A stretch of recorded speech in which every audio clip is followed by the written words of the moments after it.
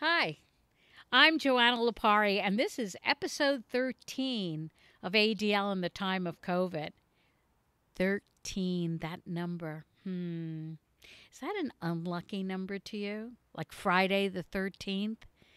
Do you know in many buildings in New York City and in other large cities, they don't have a 13th floor?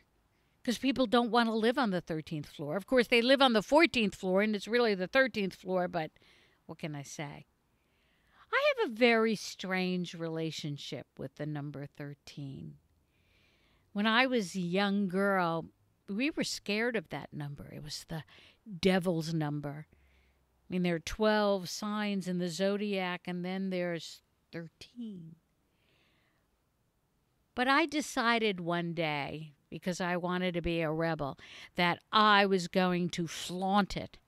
And a Friday the 13th was coming up. And you know what I did? I told all my friends it was my lucky day. And I went through school proudly declaring that I loved Friday the 13th. My friends were horrified. My classmates said, Joanna, something horrible's going to happen to you. Well, you know, I went the entire day and nothing bad happened to me. Nothing particularly good happened to me. It was just like any other Friday.